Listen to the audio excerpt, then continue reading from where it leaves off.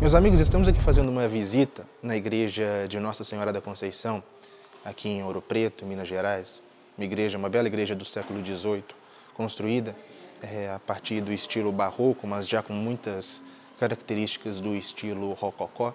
E imediatamente me vieram à mente algumas reflexões a respeito deste estilo tão mal compreendido aqui no Brasil, que é o barroco, e que eu gostaria de compartilhar com vocês, a partir dessa igreja, a partir dos dos exemplos que essa igreja nos proporciona.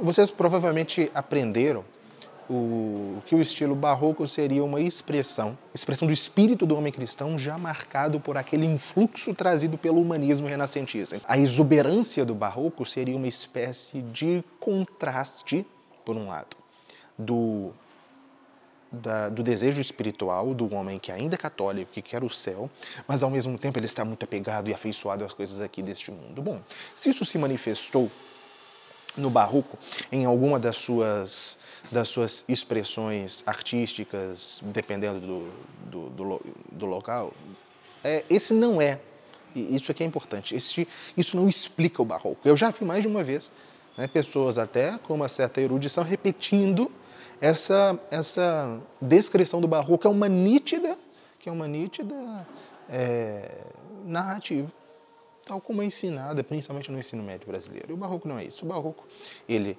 nasce como uma expressão da cultura católica triunfante após a reforma católica. A igreja ela passa por uma grande turbulência entre os séculos XV e XVI, marcada assim pelo humanismo, pela decomposição dos antigos padrões espirituais e civilizacionais do Ocidente e pelo protestantismo, que abala a igreja em uma proporção é, talvez sem precedentes em termos de abalo que a igreja sofreu, o, em termos de, sei lá, não sei, um terço da Europa, um terço da cristandade apostatou, né, enfim deixou a fé, deixou a fé católica, pelo menos, aderiu à heresia. E a igreja saiu muito fragilizada disso. E ela empreendeu, naturalmente, pela ação do Espírito Santo e pela ação dos seus santos, um processo de reforma interior que começou até antes do protestantismo. As origens da autêntica reforma católica remontam ao século XV. Mas, ao longo do século XVI, essa reforma católica foi triunfante. E a igreja ela vence aqueles desafios que a história colocou a ela e da protestantismo, protestantismo era o maior deles, naturalmente.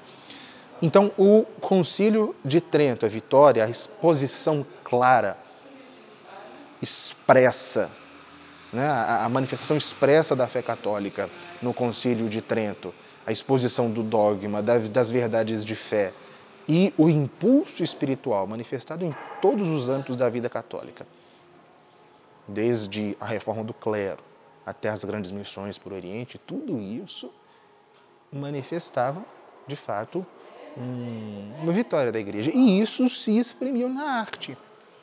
E o barroco é isso. O barroco é um estilo de vitória, é um estilo de triunfo da igreja na modernidade.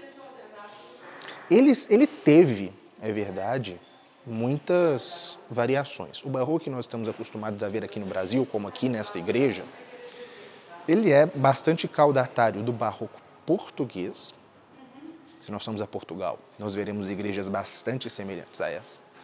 Mas o barroco, ele tem, é, dependendo do local em que ele se manifesta, ele tem expressões bastante diferentes. Inclusive, as pessoas teriam até dificuldade de englobar todas essas manifestações artísticas em um todo. Por exemplo, o barroco espanhol, mais semelhante ao português, mas o barroco francês, o próprio barroco italiano, e o barroco alemão ou austríaco, todos eles têm algumas marcas bastante características. Por exemplo, o barroco francês, ao menos nas igrejas, ele não é tão, tão ostensivo na, nas formas, tal como o barroco português e o barroco brasileiro, um barroco mais sóbrio, que lembra até de algum modo o próprio estilo renascentista. Aqui não, né? aqui no Brasil nós herdamos a tradição portuguesa, é, e a arte barroca que é bastante expressiva, refletindo antes de tudo esse espírito triunfante, esse espírito de algum modo até um pouco exaltado e que sim, em alguma medida, com uma certa, em algum, com alguma medida de desordem, é, expressa no exagero pelo uso de certos elementos combinados que causam sim uma certa expressão em determinados momentos de caos. Mas, no mais das vezes, é fruto da, do próprio espírito da época tridentina. Isso é muito característico. Por exemplo, na, nas igrejas barrocas, nas igrejas a partir do século XVI, nós vemos muitas imagens de santos. Por exemplo, nessa, nós vemos santos que são é, muito importantes na tradição católica luso-brasileira, santos que o povo português, e por filiação o povo brasileiro, é, sempre foram devotos. E eles estão aqui representados. Nas igrejas medievais, nós não vemos santos ou imagens na igreja. Elas são é, separados do corpo da igreja, na verdade. Elas fazem parte da igreja. Em primeiro lugar, começaram como estátuas colunas, quase que integrando o edifício. Depois, estátuas que já guardavam uma certa independência, mas ainda faziam parte, de fato, do edifício.